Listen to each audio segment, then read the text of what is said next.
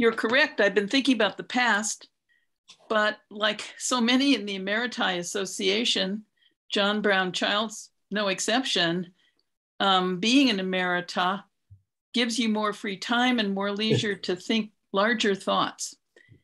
So I've been worrying about this question, the Earth's future, and I keep rephrasing it slightly. My title today is Do Humans Have What It Takes to Thrive in This Universe? I wouldn't ask this question if I weren't worried about it. So I'm going to start here with uh, a um, summary of the talk for the benefit of people who can't stay for the entire time. It seems as though, um, as sometimes often happens, uh, my slides are not advancing. So I'm going to stop sharing for a moment, exercise my, my slides and see if I can come back.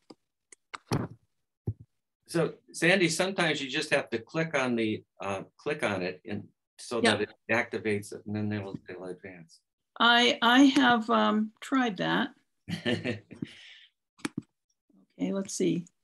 There we go. Yep. So here's the summary. Um, we understand Earth's history now in broad outline, and there are lessons there. The prime one is we live or die by the laws of physics, and that's going to be true in the future.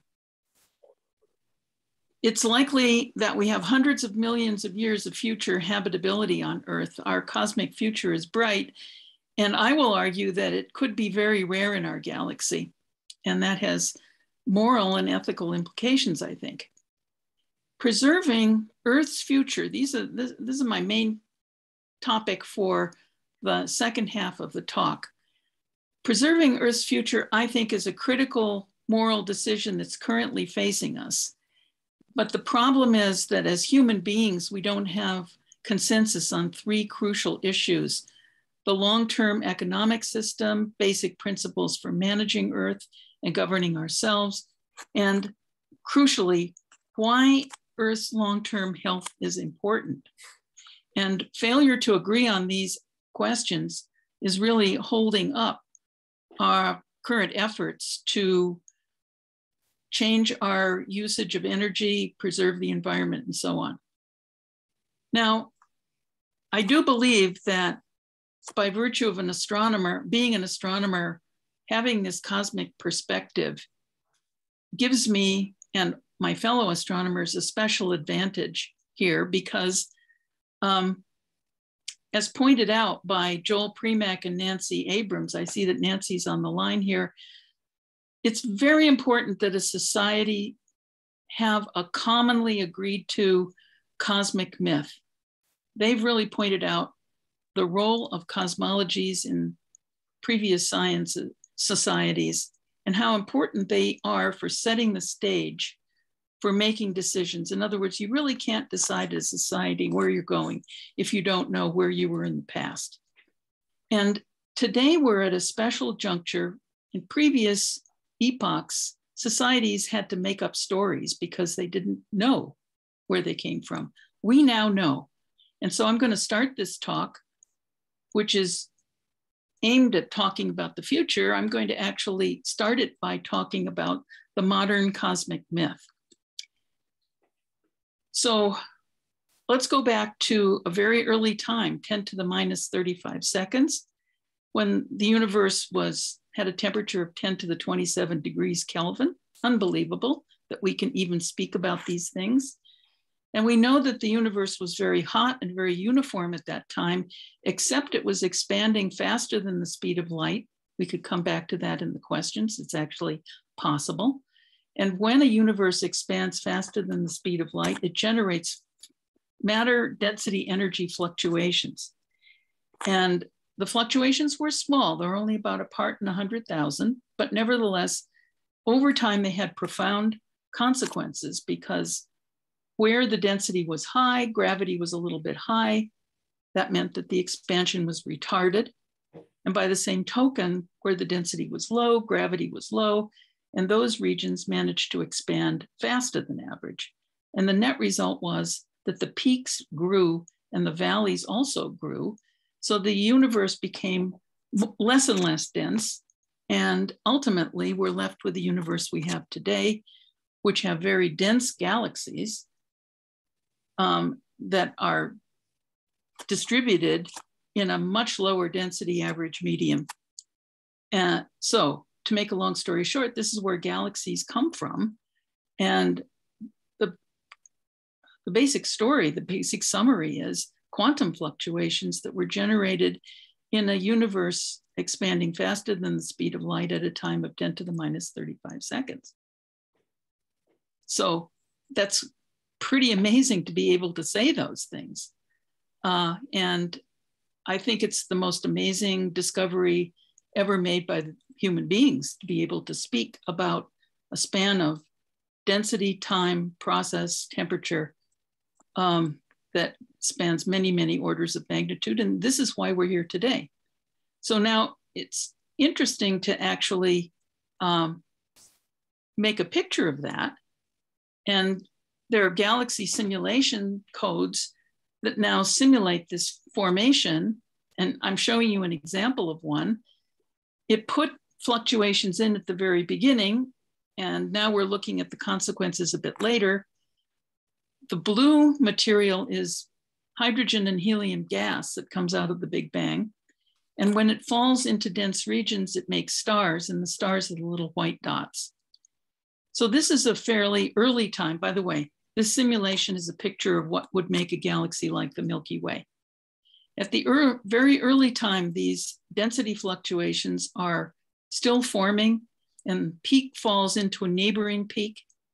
And this has a big effect on galaxy morphology the previous stars that have made get thrown into a more or less spherical halo called a spheroid by astronomers. And gas that's still hanging around yet to fall in tends to fall into an outer rotating disk. And then that system collides with another system, and you get a bigger spheroid and a refilling disk.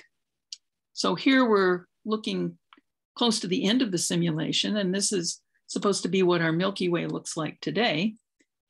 All the previous stars that were formed early are this quasi-spherical spheroid, but gas is still falling in and it hasn't yet made stars.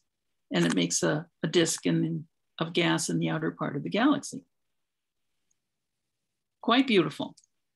So now you might say, well, that's a model. Why should we believe that? The reason is that it actually agrees rather well with the pictures of galaxies that we see. Here are some objects that must have formed pretty early and been disrupted. They have rather large spheroids and um, rather lower fraction of disk material. And now we can go through a sequence, a famous sequence called the Hubble sequence, the spheroid is going down, the disk is going up, and finally we get to galaxies that are almost pure disk. This indicates the extent to which they've undergone mergers and disruption at various times. I keep speaking of disks. Why? Because we see some of these systems edge on, and we can see that they're really flattened like dinner plates. And we now know that we live in a system like that. This is the Milky Way, the band of light that crosses the sky looks like a band because we ourselves are in the disk and we know a lot about our the sun's position and motion in the galaxy. So we can look at nearby galaxies and see that their forms reproduce the theory quite well, um, but we can do more with telescopes like Hubble. We can actually look back in time. And Hubble is extremely powerful. It takes us back to within about a half a million years of the Big Bang itself.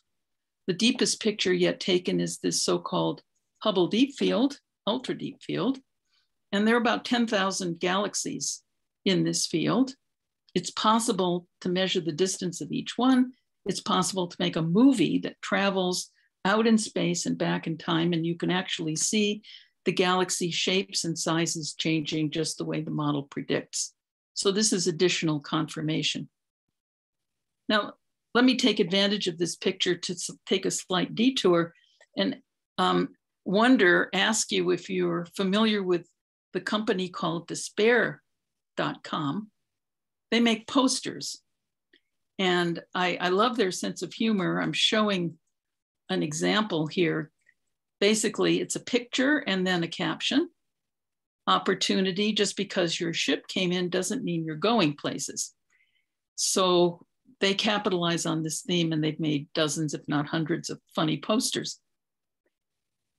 To some people, the Hubble Deep Field might inspire an astronomy poster. So here's my version of a despair.com astronomy, finding out you really just don't matter.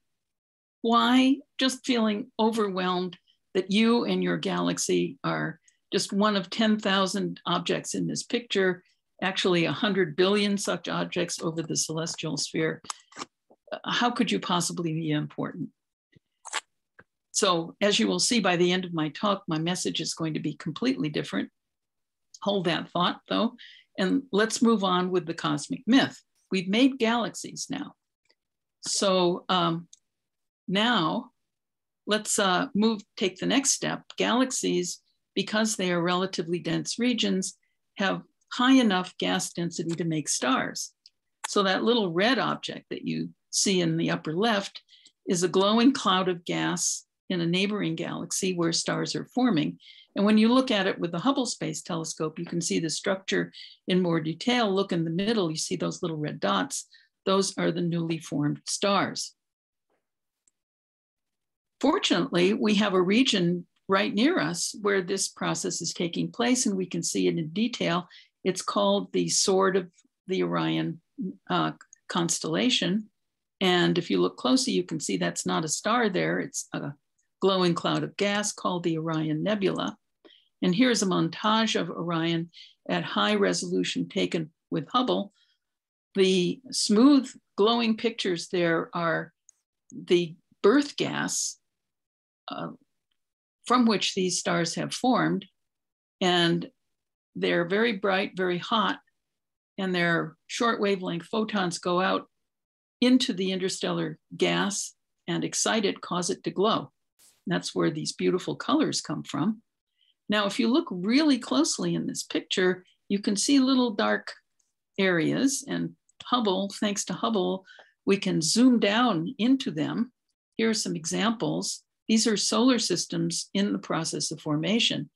And in some of them, you can actually see disks, glowing disks, uh, surrounded by gas that's falling onto the disk and making the star and making planets, for uh, we believe. Here are four more of these objects at a later stage in their development after the central star has formed. And you can see that they're surrounded there by the disks of gas and, and uh, dust and the dust is very important. When we looked at the pictures of galaxies before, I didn't point it out, but should have, there were dark clouds that seemed to be in within the space of the galaxy, blocking the light of stars behind. It's that same dust now that has fallen in to make this um, these uh, disks of circularly rotating gas and and dust which are forming planets. So we know that, again, they're flattened and rotating because we see some of them edge on. This is an example. And the dust grains are super important. Each one of these dust grains is very small, about the size of cigarette smoke. They're generated in the atmospheres of stars and in supernovae. They're driven out into the interstellar medium where they're collected into new stars and new solar systems. And they're sticky we don't quite understand the coagulating process. Here's a picture. We start with these tiny dust grains. They make rocky objects. These dust grains are the stuff of which Earth's rocks are made. We make rocky planetesimals, and then in some cases, those planetesimals accrete an atmosphere, and you can get a giant planet that has a rocky core and a huge giant gaseous envelope like Jupiter and Saturn. So here's an artist's conception of what one of those systems might look like. These planetesimals are growing by gravity, they crash into one another and grow further. So I love this next picture, which sort of sums up this whole cycle, this whole process of making a galaxy, making stars, and then making planetary systems. This is a, a real picture taken inside a, a cave in New Mexico. And this is a rocky kiva in the, in the foreground. And here's the Milky Way, and those dust clouds in the background are the same stuff of which the rocks in the foreground are made. So this one picture tells the whole story of the formation of Earth, really. So once astronomers tell this story, what everybody wants to know, obviously, is is Earth rare or is it common? So one view is that Earths are common. And an example of this is the so-called Drake equation. Frank Drake, famous cosmologist uh, and seeker of ex extraterrestrial intelligence, he invented this equation back in the 1960s for the number of detectable intelligent civilizations in the galaxy. And we don't need to go into details, but it starts with the number of stars and then starts multiplying by some factors, which uh, are all less than one, expressing the probability of meeting various requirements. There are only five or six factors in the original equation.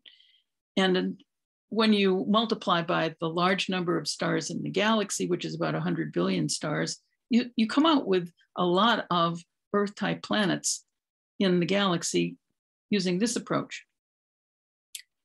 Since then, we've come to realize that there are other factors needed to make Earth, and that's given rise to something called the rare Earth equation. This is a wonderful book. I recommend it. And um, it also has its own equation, but it has more factors in it. It has six more factors than the original one, one of which, interestingly enough, is whether or not Earth has a big moon. That is now thought to be really important to the habitability of Earth because it stabilizes Earth's axis, which otherwise would wander randomly. Sometimes it would point in the plane of the ecliptic, and therefore you can just imagine what day and night would look like as we go around the sun. Um, huge temperature differences would be generated on the dark side versus the bright side of Earth.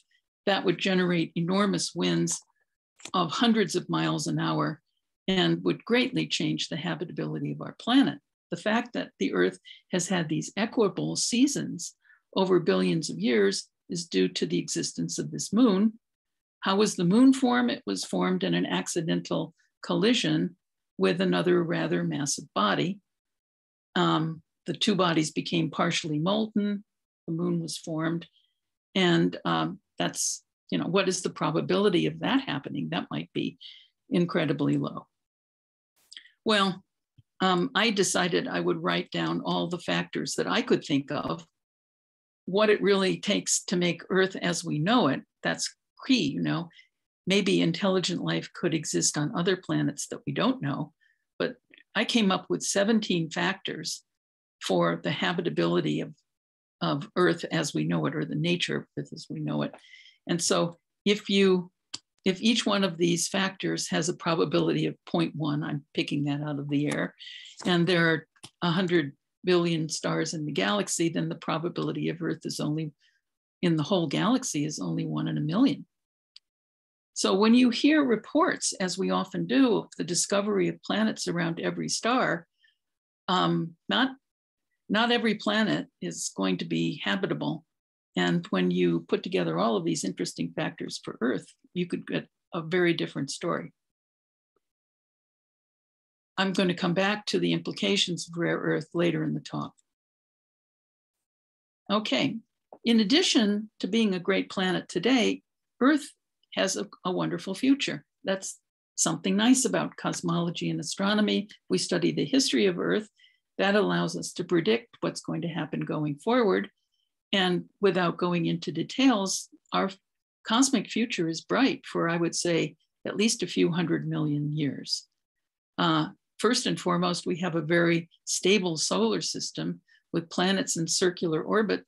So there's no danger in our solar system of waiting, waking up and listening to the radio or reading on Facebook that, uh-oh, guys, um, an instability in planetary interactions is ejecting the Earth into the interstellar medium away from the sun. And in a few years, um, it's going to be freezing cold here. So, um, you know, don't even bother writing your will because the whole planet is going to freeze to death. No, we're very lucky.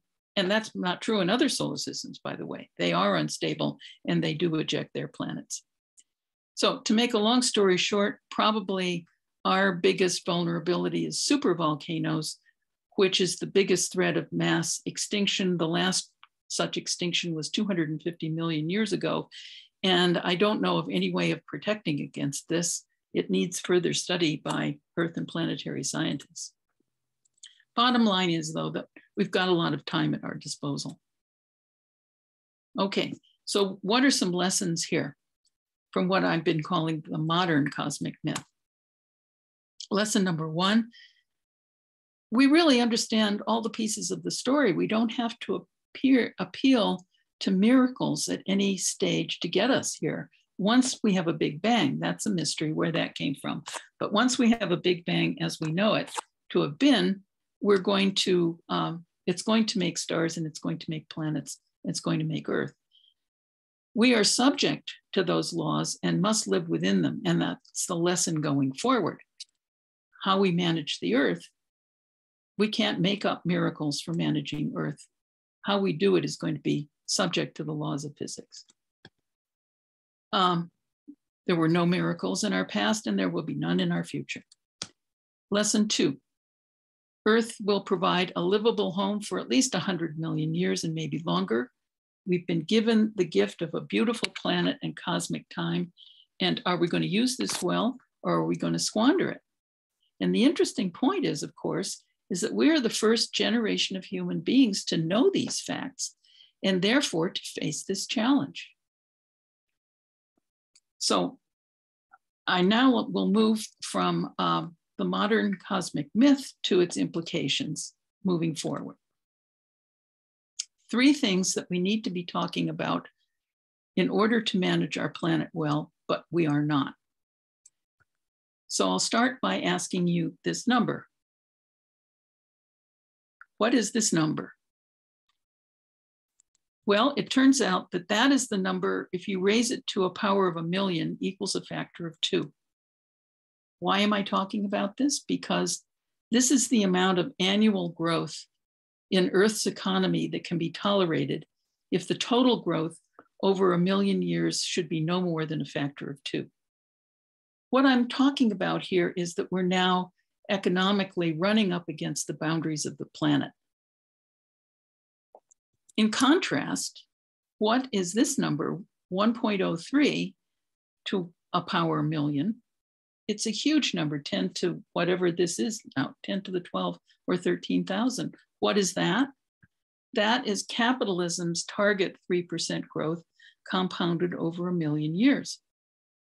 Again, we're running up against the boundaries of the planet, and many uh, environmentalists and environmental economists are worried now that this target growth of 3%, let alone a million years, can't really be uh, sustained for more than another few decades. So that brings us to the topic of capitalism, which um, we don't have any agreement over. One view regards it as this rosy, reassuring picture. Capitalism, by its nature, by its nature, entails a constant process of motion, growth, and progress. That's fine as we live on an infinite planet, but we don't. So I am waiting to see the following from a mainstream economist that stocks are Ponzi schemes premised on future growth. Capitalism does not bestow growth as an option, it needs it. It feeds on it, and in the process, it's devouring our planet.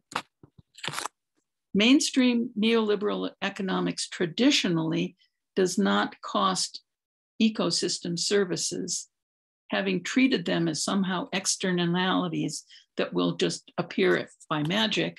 This is changing, but it's not changing fast enough really to influence um, the kinds of policy changes that we need if we're going to um, deal properly with this unending growth. Okay, so not everybody agrees with me. Here's the famous John Bogle who invented Vanguard funds. He says capitalism is not a Ponzi scheme, it is a scheme of free markets. Well, it can be both. It's not one or the other. I certainly agree that it's a scheme of free markets and the free markets are very efficient at allocating resources. I don't think I would want to change that in, to any great degree, but nevertheless, the growth aspect needs to be addressed. History says otherwise about growth. Here's annual copper production, which has grown at 3.3% for 110 years and is still continuing that way um, to the present. Um, here's not in, in addition to, to resource consumption, we have to worry about the other environmental the absorption of our wastes, including, say, plastic waste. And plastic waste has grown at 7% for the last 65 years. Now, a really tough question here in, in alerting people and trying to get them to think about these issues is a very deeply held view by many that somehow technology is going to save us.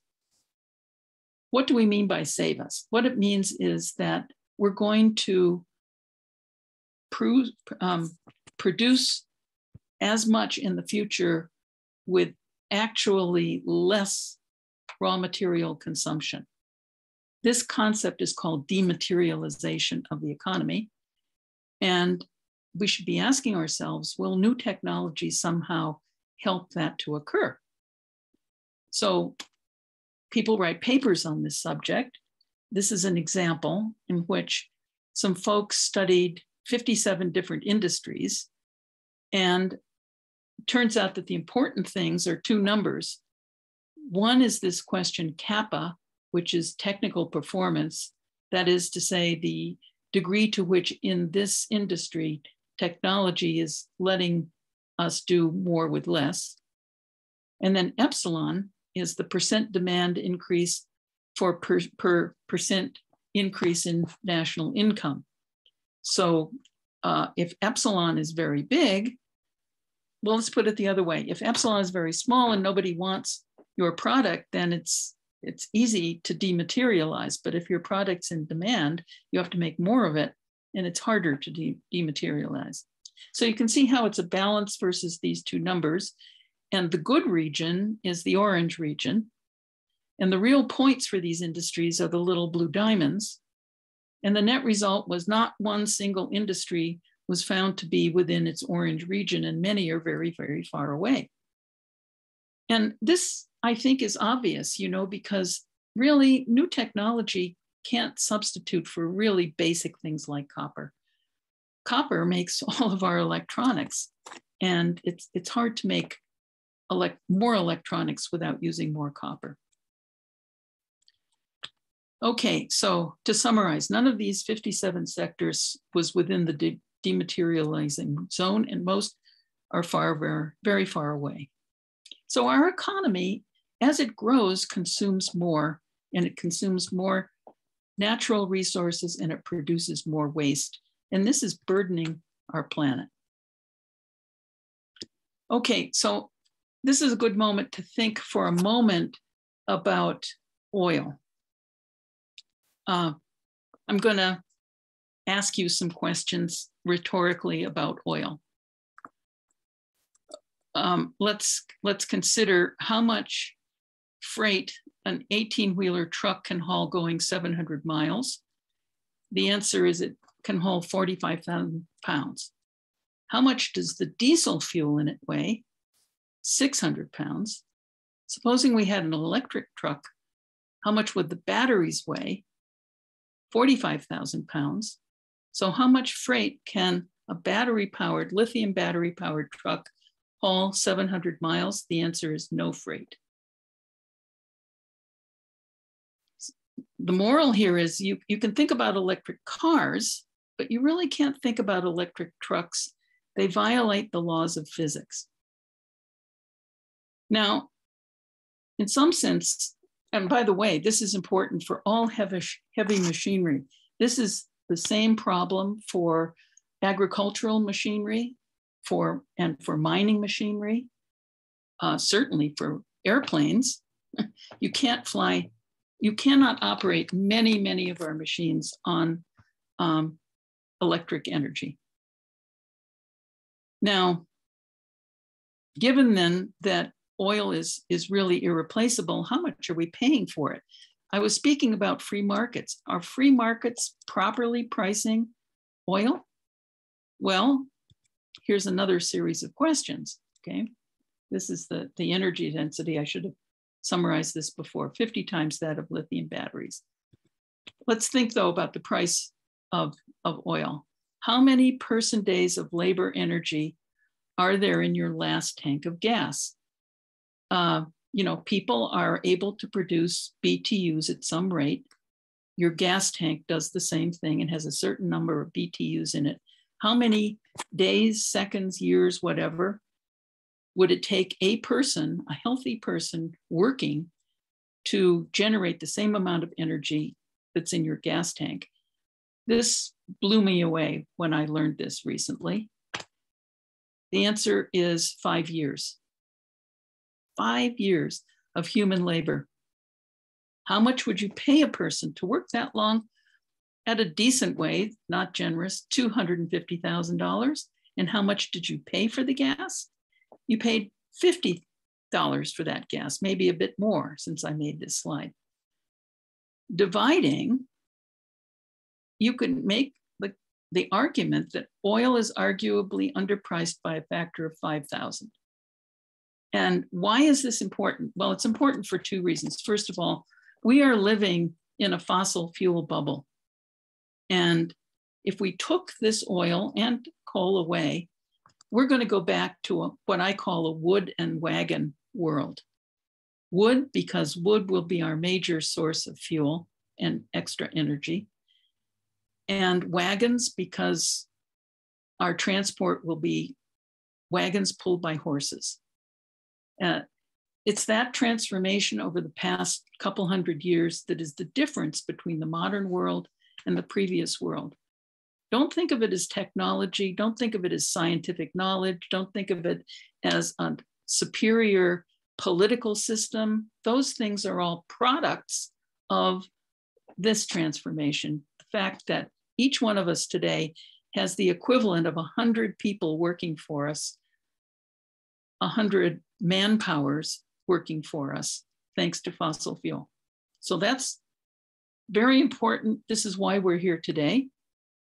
And it's important going forward because we speak of building new infrastructure with new sources of energy, photovoltaics, wind power, for example. But those are all machines made in factories with raw materials that are mined and at the moment, our technology requires using oil, to some degree coal, but really oil in order to assemble those new machines. If we burn up all the oil without having set in place our new infrastructure, then we really will be doomed to a wooden wagon world.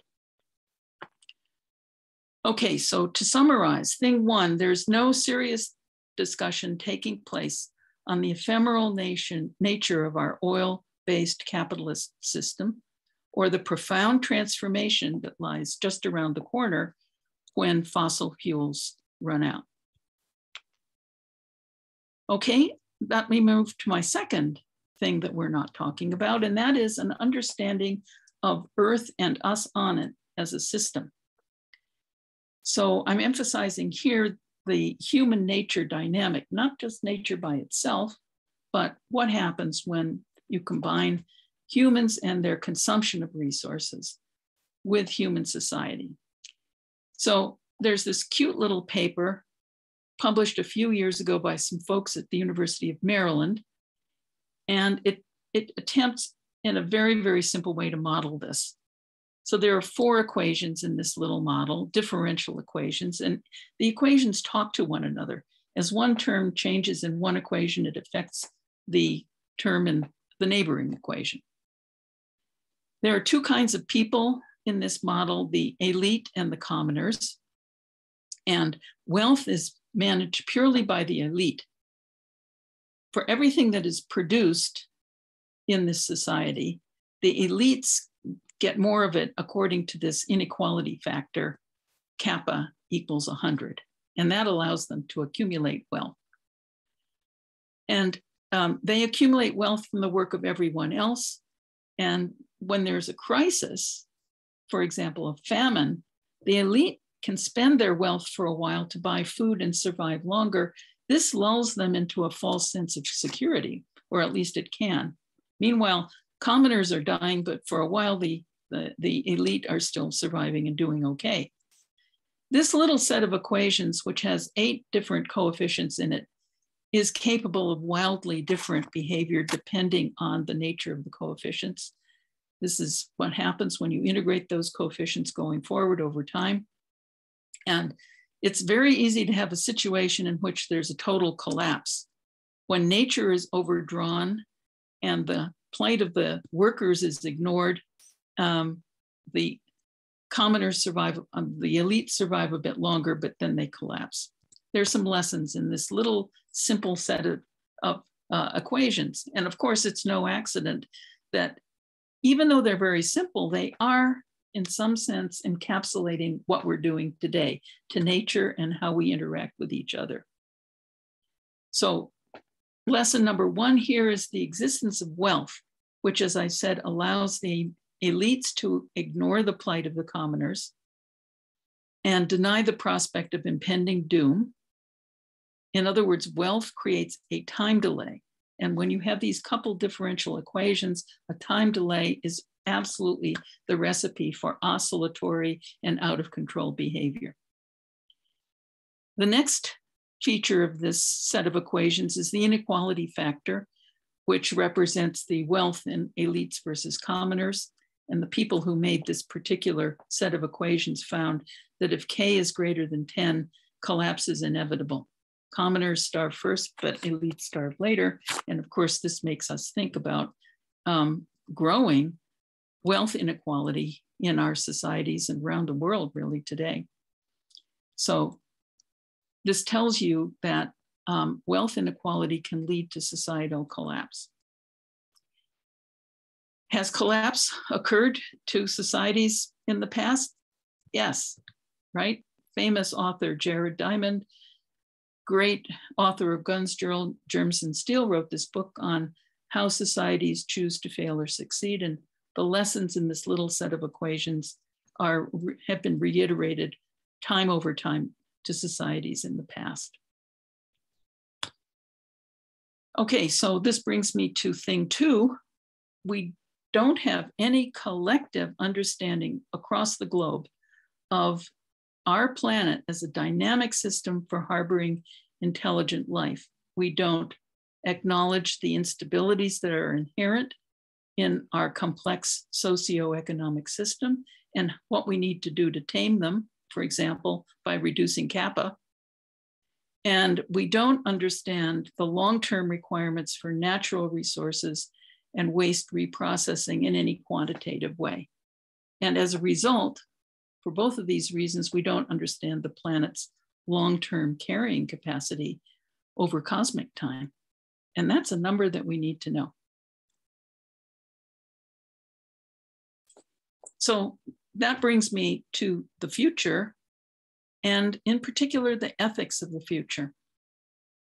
Let me speak first about the origin of human ethics. We can't talk about our ethical compass for the future without knowing why we have an ethical system.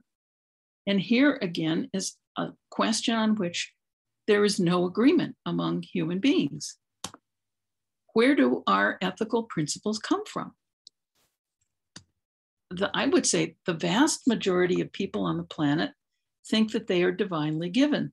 So they believe something like this, something like the the, ton, the Ten Commandments from the Bible. God spake all these words, saying, etc. That would make them absolute, but external. Other people think, like Kant, they don't believe in God, but they still think that moral principles, at least some of them, are absolute. Do the right thing because it is right. This is what we often call the Kantian imperative. But more and more, I think a new view is coming to the fore, and that is the fact that our human ethical system is really just a product of natural selection. For example, E.O. Wilson, who was one of the pioneers here, passed away pretty recently. He said, most behavioral scientists agree that ethical codes have arisen by evolution through the interplay of biology and culture. Cooperative individuals generally survive longer and leave more offspring. Well, that raises absolutely the key ethical problem confronting every human being. When am I going to serve myself? I have to come first in some sense. But when am I going to serve others, my, my progeny, my spouse, my community, because I depend on them too? So I think this could be summed up by saying that ethics, human ethics, are a pragmatic tool for decision making.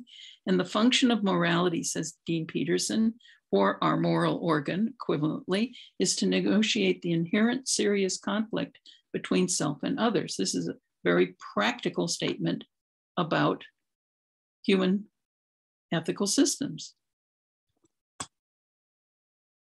Now, this is a very interesting point. Why, why do we comply? If, if our ethics is built in in some sense, it can be tuned by upbringing. I'm not saying that culture has no role, but the fact that we need have an ethical system is inborn. And what is the, the factor that makes us comply when it's telling us to do something? And the answer is feelings. Feelings are the carrot and stick that compel our compliance. And here's a, a, a psychologist from South Africa, Mark Solms, who studied this. Uh, the good feelings associated with functions necessary for survival is what motivates us to do them. And I love this quote from Abraham Lincoln When I do good, I feel good. When I do bad, I feel bad. That is my religion. And interestingly, I came to this conclusion about myself a couple of decades ago. And it was one of the realizations that sort of prompted this whole exploration that I've been making since then. Let me take a short detour here and say that um, you can confront people with circumstances and put them in MRI machines and see what their brains are doing. And when they experience these feelings of remorse, sadness, fear, etc., all the sticks and carrots in our ethical system, you can see what activity, what regions of their brain are activated. And it's not the prefrontal cortex, it's deep, it's the limbic system, it's the brain stem. And uh, that tells us that these, that this mechanism for making an organism do one thing or another that's good for its survival is ancient and that suggests that animals have it too. And I submit to you, if you think about it, what is sentience? It's not being able to do calculus, it's not making a grocery, grocery list. It's actually, I think, first and foremost, being able to feel something and be aware that you're feeling something. And if that is true, then a, the vast family tree of animals is, qualifies as being sentient. Okay, let me get back to the my main track. Having discussed the origin of our ethical principles, now let's think about the implications for how we value the future, because value is at the core of ethics. If we value something, we protect it, and we make moral decisions to do that. So um, you would think that because there are probably lots more people in the future that if we were trying to protect and do good for them, that our primary goal should be to ensure that the future goes well for all generations to come. But the problem is, how much do we value those future generations? And that is comes to the core of the human ethical system. We discount the future. Uh, an example is the exponential discount rate that we apply to the future value of money. Um, that's often what we call the interest rate, or here I'm showing a, a slide of federal funds rate over the last 60 years or so, which is average 2%. What does this mean? It means that if somebody says, I'm going to give you a dollar a year from now, you say, no, you're not. I, I could have that dollar now. If I have to wait, you have to pay me more. You have to pay me, if you were going to, if I'm going to lend you a dollar and you're going to pay it back a year from now, you're going to pay me a dollar and two cents. That's a discount rate. It's effectively saying that the value of money in the future is less than the value of money today. And this is crucial because this is how people compute whether or not a construction project is going to be is going to make money or not. They build in this discount factor.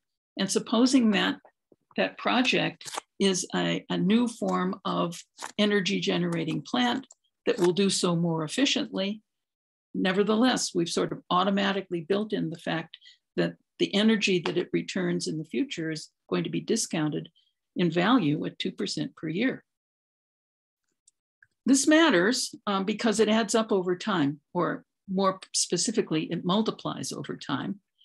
At a discount rate of 2%, your 80th year is worth only 30% of your current year when you were 20 years old. So people and people actually do think this way. It's not just an economic thing. This is why we find it hard to save for our retirement because that seems very distant and some, somehow, in some sense, worth less to us. Also, over time, at a discount rate of 2%, these future generations, even though there be lots of people, have essentially zero value, even though there may be a lot of them. Put together this discount rate for a thousand years and it basically goes to zero. So why is this? Now we have, we can see the whole picture. Humans have a weak moral organ for the distant future because having one was not necessary for our evolutionary success to this time. We only need to think about uh, the next few years or few decades in order to survive uh, successfully we have to preserve our bodies in order to be able to reproduce, and we need to raise our children to their age of reproduction. That's a total time of two generations, something like that, 40 years. We can think on timescales like that, and we can have feelings of worth and value over timescales like that. But longer than that, we cannot because we were not shaped by evolution to think that way or feel that way. So that brings me to thing three. We have no collective agreement on where our human ethical principles come from and their relation to planning Earth's future. In short, we don't understand what it means to be a human being. Okay, here's some evidence that humans actually do care at least a little bit about Earth's far future. When I've given this talk in person, I often start it by asking the audience the following question Imagine Earth a thousand years from now, and just take it for granted that it's a smoking ruin and that human actions, starting with our generation today, are responsible for that. And the question is is this good or bad? And 95% of the people in the audience say that it's bad. And the other few percent either don't know or they don't get the question, or some say it's good, but they they think it's good because there aren't any humans anymore, and it's good for the planet if there are no humans. Point is, though, that most people react with revulsion to this prospect. And I've been asking myself, why is that? Why do we care about planet Earth many generations hence when we seem to operate our lives with this discount factor. And here is my explanation, um, which I think could actually be pursued with research. So here, I think I have to introduce this concept of entropy, which is, comes from physics. Basically, if entropy is low, it means that whatever you're looking at, a machine, a collection of atoms, whatever, a human brain, is complex and highly organized. And if something has high entropy, it means it's disorganized, it's, um, it becomes more uniform, it becomes less interesting in some, in some sense. I'll give you an example.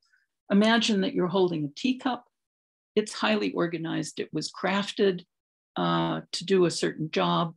People put energy and effort into it to arrange the atoms that way.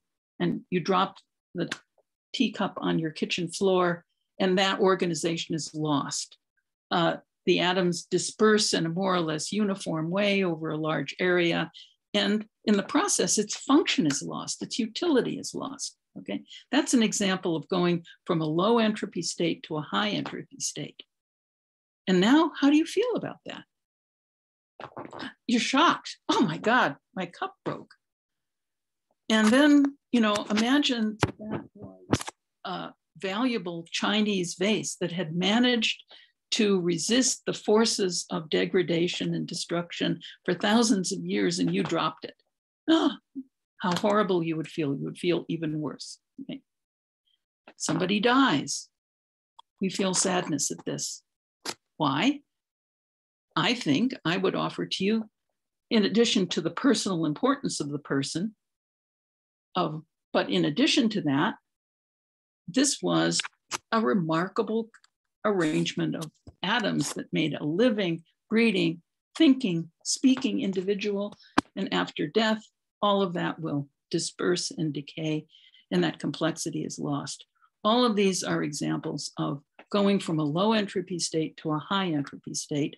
And I submit to you that honoring low entropy is actually the ultimate human value. Uh, and this is where Earth comes in because Earth is a planet, a place in the universe, unlike any other that we have ever seen, where the conditions are such that you can make low entropy. And it's due to the fact that we have a sun over there that is sending light to us from just one direction. Uh, that is a, a reservoir of low entropy that's coming to us all the time. And um, the net result is perhaps a, a, a region of the universe in which things, interesting things, can happen which are rare or non existent anywhere else. So that would be a reason for us to value Earth in much the same way that we value Yosemite. We see that that's a very special place on Earth. Perhaps Earth is special in the galaxy. Maybe it deserves to be the first galactic national park.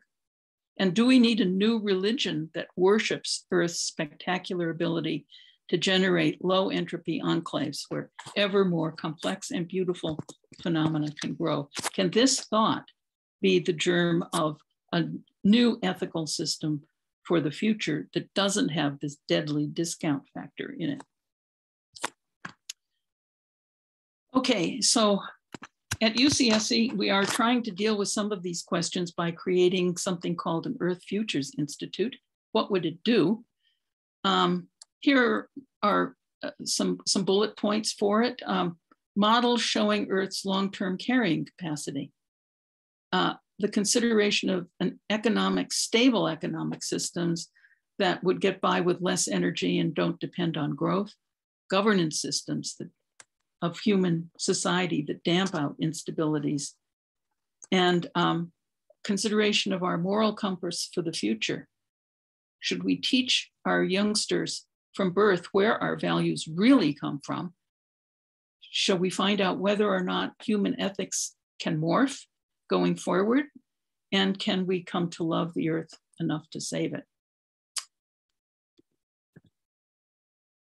Now, here are, I think, are some very urgent questions that need immediate attention.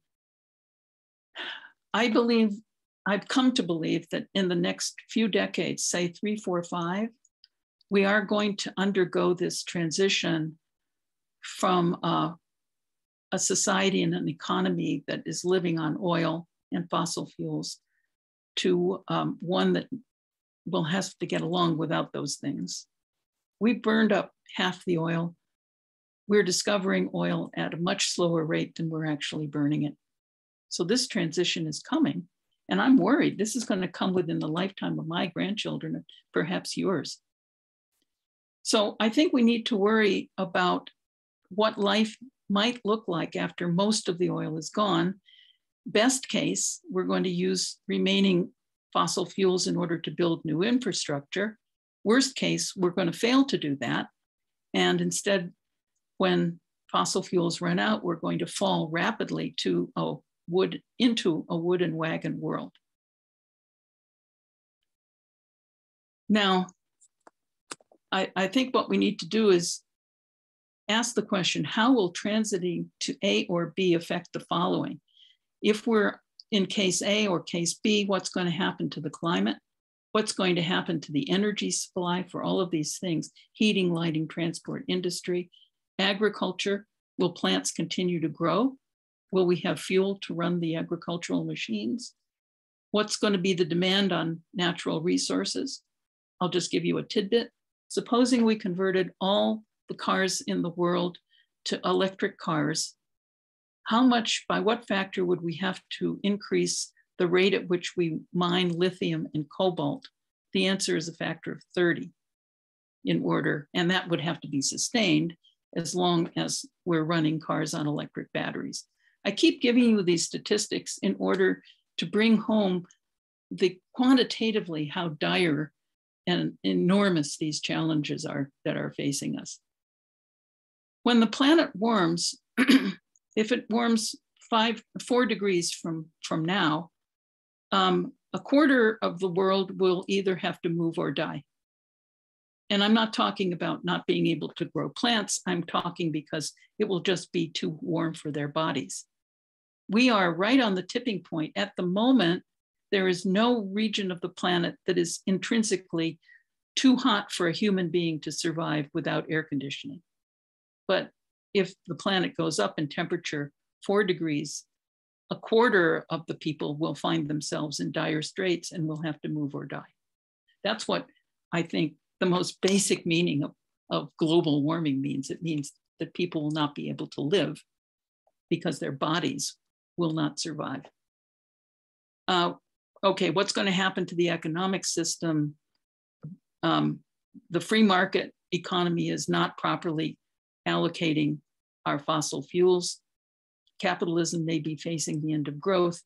And all of these stresses, what's going to happen to our political system? Uh, the government, I believe, needs to intervene. How will these stresses and decline, possible decline, probable decline of standard of living affect our democracies. Okay, so I, sh I should, um, I think, try to sum up uh, more quickly here. The two big near-term threats, end of growth, the end of fossil fuels. We're not moving effectively to prepare. My opinion, government has to take the lead and can democracies save now in order to preserve their own futures for future generations? I think that's the big question. What should we do, you and I, read, think, be able to imagine a world that's different from the world we have today and speak up, which is what I'm trying to do in giving talks like this. So let me close here with this picture. Uh, I think it's one of the most staggeringly beautiful pictures ever taken by astronomers. You'll recognize it, it's the planet Saturn, but the Cassini spacecraft flew around behind the planet and took a picture of Saturn from the backside so that the sun is eclipsed. It's a wonderful picture, illustrates our ability to navigate the solar system, but my reason for showing it is that it's also a picture of Earth. So let me give you a little help in seeing that. Perhaps still you need actually even a little bit more help. So where is Earth? There's Earth. So most people, I think, um, don't realize that Earth, as seen from Saturn, is this incredibly insignificant little thing. uh, and since I love despair posters, this inspires a possible despair poster. Astronomy, finding out you really just don't matter. I hope it's clear from what I've been saying, though, that quite the opposite. I think Earth is an incredible place and it's rare. It should trigger all of our instincts to preserve low entropy and creative places, complex places, preserving that possibility of continued development to the future. And astronomy helps us with this message. So this is my anti-despair poster, inspiring us to protect Earth's future. So thank you for listening to me today, and I hope we'll have a discussion because I've said quite a few controversial things, and I'd like to hear what you think about these questions. Thank you very much. Thank you. Excellent. Okay. Thank you very much, Sandy. All right. In this group, there have to be some questions. All right. Questions for Sandy. Uh, start with Eli. Actually, I have a couple. That was such an awesome talk.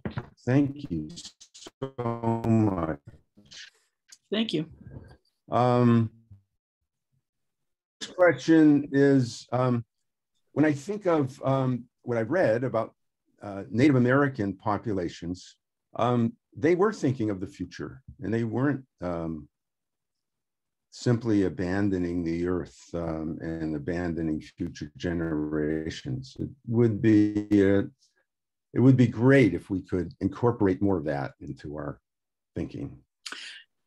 It's interesting you say that. I think um, I very much share your view, and I think they could bring a wonderfully different perspective to the table. We just brought Earth Futures Institute just brought a Canadian artist. I think art has a lot to say about this too, um, in helping to frame the stories here that will appeal to our uh, our ethical and moral system, which responds better to stories and emotions than it does to data. So, to make a long story short, um, we're beginning to explore contacts with the local Amah Mutsun tribe mm-hmm. who are trying to restore their pre colonial agriculture and knowledge of local plants. And it would be wonderful to speak with them uh, and make contact. Uh, uh, Mr. Lopez, the tribal chairman, is an outstanding individual with a great deal of wisdom on many topics. So thanks for that point, and I really hope to pursue it in the near future. Great. Uh, the second question had to do with right at the beginning of your talk, you talked about something that I thought was quite illegal or quite against the law, and that is um, the early universe moving faster than the speed of light. Yeah. Uh, and I didn't hear uh, no, I, I, I slid over that one. well, let me just give you an example though. Um, so supposing there's a very small dense mass here and you're over here, I, I can't leave the screen here, you're over here, and you, and you drop a particle. Let me do it this way since it's more evocative. Okay, so uh, obviously the particle accelerates and you watch it from your vantage point. You see it um, redshifting away from you, right? Because it's moving away, and from the Doppler shift, its light that it's emitting is moving towards longer wavelengths. So at the same time, it's accelerating, it's going faster and faster. The shift gets bigger and bigger. Uh, so what happens? Let's make this thing a black hole. There's a sphere around it, and when the object reaches that radius, it is going with respect to you at the speed of light. But it's also infinitely redshifted, so it's been redshifted out of sight. So the object relative to you and your universe is going faster than the speed of light. It's just that you can't see it. Mm. it disappears at that point.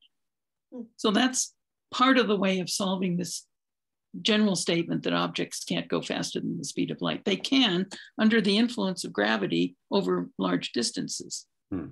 So the expanding universe uh, in the inflation period is like a black hole turned inside out. So if you sit here and watch a particle nearby, uh, it begins to accelerate away from you faster and faster than the speed of light. And it also gets redshift and it disappears in the process. But the fabric of the universe everywhere, pieces relative to other pieces are moving apart faster than the speed of light. And it's it's a form of gravity that's doing that. That's the point I'm trying to make. Mm-hmm. Um, John, did you have a question? See, you turned on you turned off your microphone. Yeah, yes, I have. Uh, thank you so much. That was just wonderful. And I, I hope more and more people will get to hear what you have to say. It's just fantastically important. Um, I, in fact, I think of what I'd like to do is send you a copy of my book, Transcommunality. I was thinking of that yeah, as you were the, speaking. I would love to have a copy. Thank you so much. The subtitle is From the Politics of Conversion to the Ethics of Respect. There, absolutely. So, uh, I, right. It's, uh, it's um, anyway, I'll, I'll, I'll, send it to you. Um, I was just wondering, as you've given this talk, uh, what kinds of responses have you received from people? Very positive. Good. But um, I feel that the people who come to my talks, um, I'm preaching to the choir. Mm. And let me also say that um, I think the real question is, you know, we're all to we're all responsible. Yeah. Mm. Uh, when when I drive my car, I live in Los Gatos. When I drive my car from Los Gatos to Santa Cruz, you know, yeah. I'm I'm living off the fruits of fossil fuels. Um, and I guess the, I don't sit here blaming CEOs of oil companies. They can't really do much else under the current system. They have a fiduciary responsibility to their shareholders. Mm-hmm the whole we're just like flies in amber. We're trapped in the system. Yeah. And so the thing i think we we have to think about is where are the levers? Hmm. and uh, i think it's really it's it, it's really a disservice especially that our editorial pages are just not waking up to this. Mm-hmm. i read the wall street journal every day. Those are smart people. How could they possibly be missing these things and they have bully pulpits that would potentially influence the political system. But um, bottom line is, I'm thinking about this, but I don't really have a path to um, making change on the short time scale that's really needed. So suggestions yep. are, are needed. I don't want to write just another book. These are wonderful books that people are writing, and they don't make any difference either, etc it's a real challenge. I agree. It is. It's a very big challenge. But thank you. I, I you know, thank you from the heart. You're, you're okay. doing such important work. Thanks. Todd? Oh, muted. Uh, in terms of energy, what do you think of, of hydrogen as a fuel source and nuclear energy? Um, I need to read more about the economics of each one of these uh, options. I was just reading two days ago about hydrogen and have the impression that it's just, um, uh, you would have to have enormous amounts of probably solar power in order to make it um, energetically feasible. I mean, the fact is, hydro- there's a reason why hydrogen is hooked up to oxygen, right? It's energetically favorable. You have to put in a lot of energy to get it back. It's not as though we have hydrogen lying around. So I, I would dismiss hydrogen. Um, nuclear, I'm a fan of, not for cosmic time, but as a band aid to get us through this transition process. And I think it's criminal that there are other new forms of nuclear power plants that are safer uh, with more disposable radioactive waste. And uh, that's just not being pursued in our country and should be. Okay, Jack, I think you had a question and uh, unmute. You're muted, Jack. Uh, Jack, you're muted.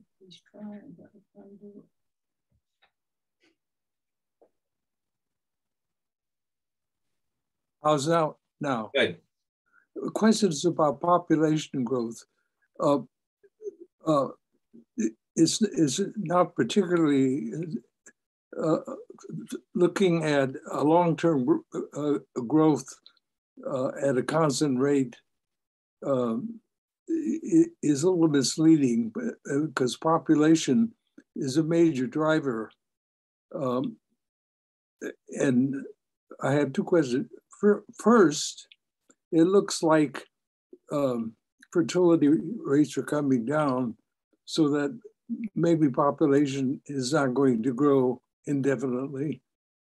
And what do you think is, is the carrying capacity under uh, successful conditions of population? And it's certainly lower than what it is now.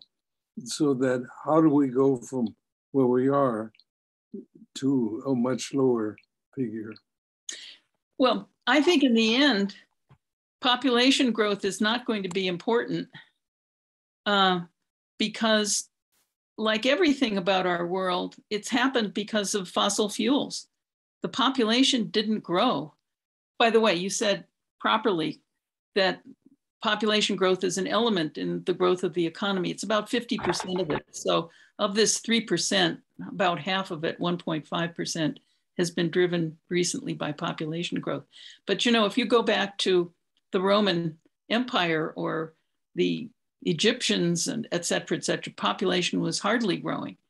And it began to balloon exactly at the point where we began to master and become, um, you know, at our have at our disposal all of this energy.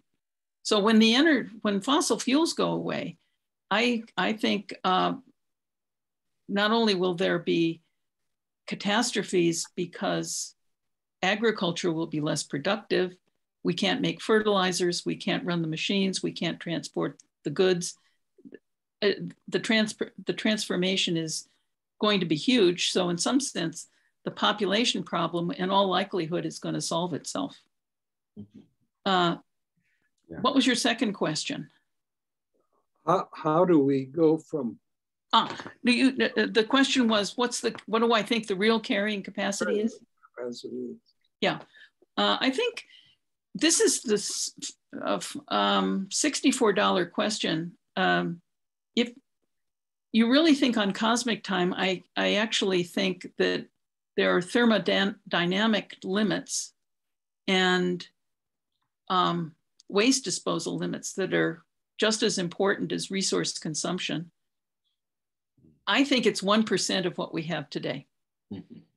which is like the state of California.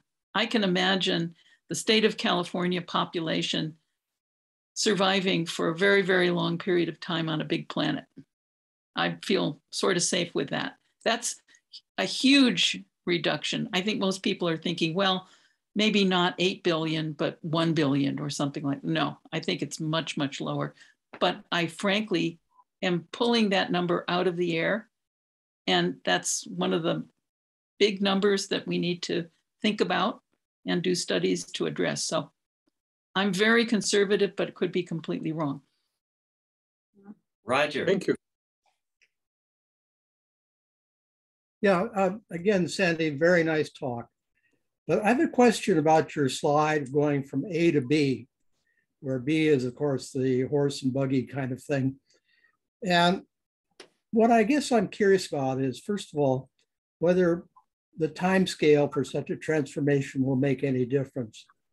In other words, are we more likely to solve the problem if that is quickly perceived as something imminently uh, likely, or there's a longer period of time?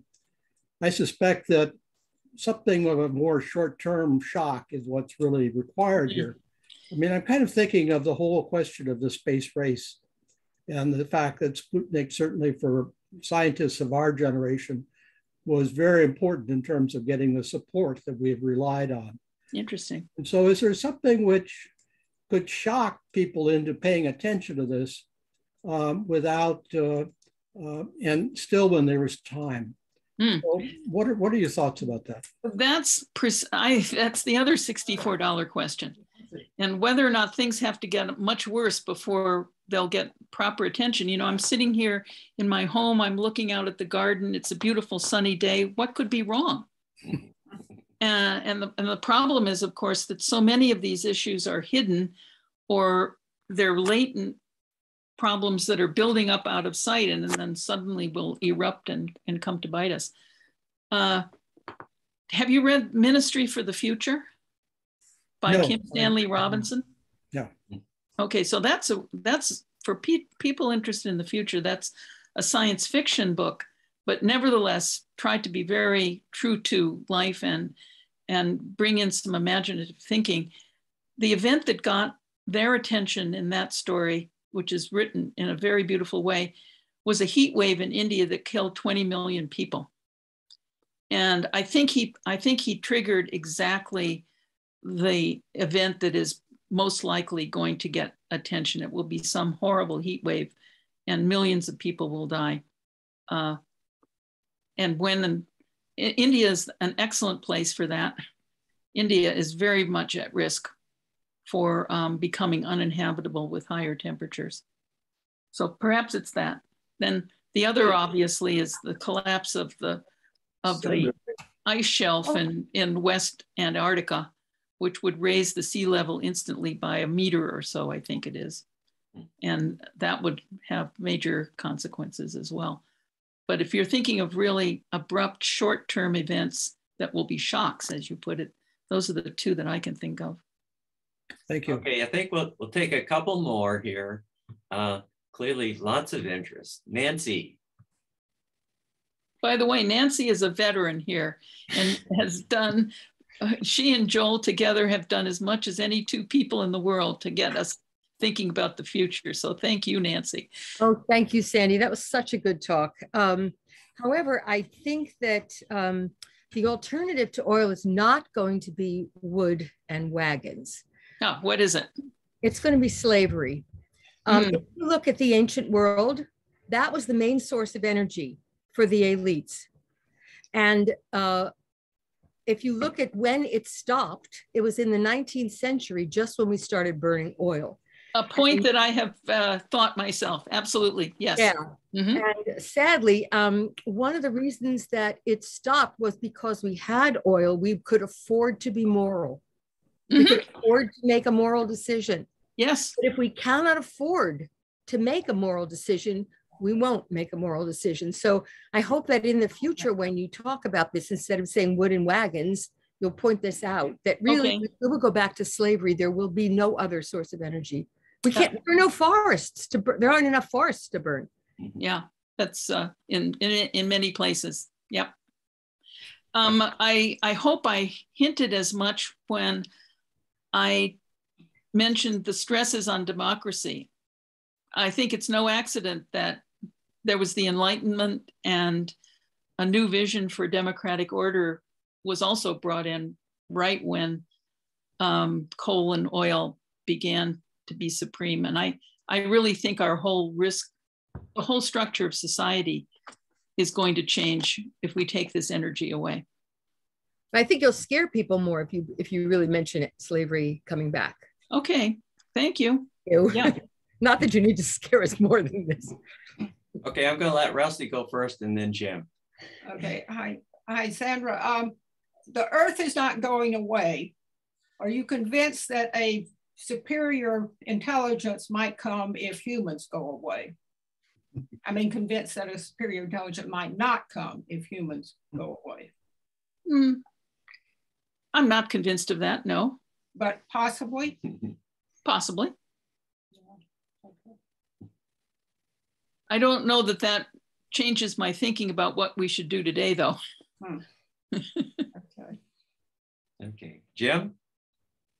two other thoughts, Sandy, as you continue to talk to other people about it. One is that the talk, how it's wonderful, of course, is still a bit American centric and anthrocentric. So by American centric, I mean we've just lived through uh, two years where the contrast between the moral contrast between the United States and, as the Times pointed out earlier this week, Australia, with very similar demographics, but had a factor of 10 lower death rate in COVID because of societal response, means that not all countries on the planet currently are morally comparable in these in thinking about um, uh, indivi individual rights versus collective rights, which is one of the points that you made. So, to an American audience, you could point that out. And by anthropogenic, I mean, at times you talk about um, livability, but life is, is broader than sentient life. And most people thinking about livability think of human life. And as Rusty just said, the planet, life on the planet, is likely to survive quite well, thank you. It's been through massive uh, destructions of life in the past and rebounded. It's just us who are affected by it. Um, can I respond to your two points? Mm-hmm. Okay, so point number one, um, it's interesting that you mentioned Australia because I was just reading about them yesterday. Yes, perhaps they marshal more effectively for COVID, but actually they stand out in sure. plots of environmental destruction and consumption. Yep. Uh, on that score, they're doing actually worse than the United States. Agreed. And I, I guess I would say there are really no winners there except maybe Bhutan. Uh, you know, all all societies everywhere are are ex heavily exploiting their own environment. So, as far perhaps it's within the human moral realm to respond to COVID. It doesn't seem yet to be within our moral realm to respond to the environment crisis. Regarding anthropogenic, I am anthropogenic. and I will confess to say that unashamedly. and the reason is that I think uh, part of the, uh, a major part of the awe and wonder of Earth is humans and what they've done. And to go back to uh, an Earth where there really isn't intelligent civilization, people aren't thinking thoughts. And by the way, I don't think our descendants have to be humans. They could be machines. They could be, you know, I'm not wedded to the human species per se. I'm just wedded to the notion that there will be beings uh, on a future Earth who will breaking be breaking new grounds in terms of aesthetics, complexity, knowledge, whatever. And uh, that that sort of fits with my statement that uh, low entropy is a miracle, and human society is the pinnacle of that. All right. Well, thank you very much, Sandy. I think I think we'll bring it to a close. That, that's a good closing statement. Uh, so thank you, uh, everybody, for your participation in American Emeriti activities this year. Uh, as of right now, we don't have a summer activity. Maybe if the uh, COVID finally goes down, we'll have an in-person get-together, just a picnic or a party somewhere. Otherwise, uh, see you all in September. So uh, thank, thank you all. Uh, congratulations to EG and to John. All right. So long, everybody. Bye-bye. Thanks, Barry.